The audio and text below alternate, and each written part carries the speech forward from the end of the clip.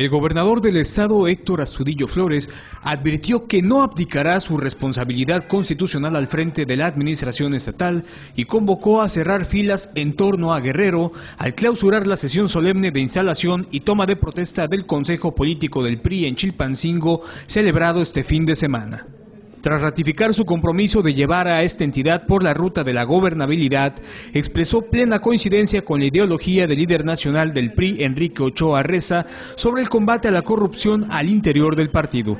La sociedad cada día es más demandante, es más estricta. Observa a los hombres públicos, a los presidentes municipales, a los diputados, a las diputadas, observa a los senadores, observa al presidente de la República y observa al gobernador, y a los gobernadores y a las gobernadoras. Hoy, sin duda, las mujeres y los hombres públicos necesitamos, por obligación política, legal y moral, mantener un comportamiento más correcto frente al pueblo.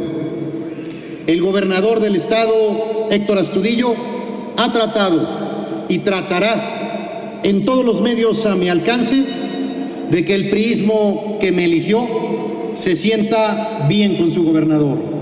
Ante expresidentes del tricolor, alcaldes, diputados locales y líderes priistas, Astudillo Flores destacó que hoy Guerrero está libre de conflictos en las calles y se ha empeñado en resolver las problemáticas que van surgiendo.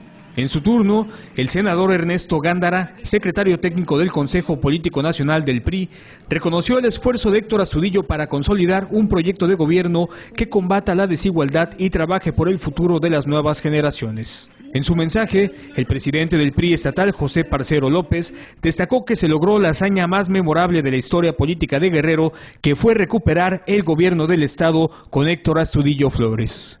Radio y Televisión de Guerrero.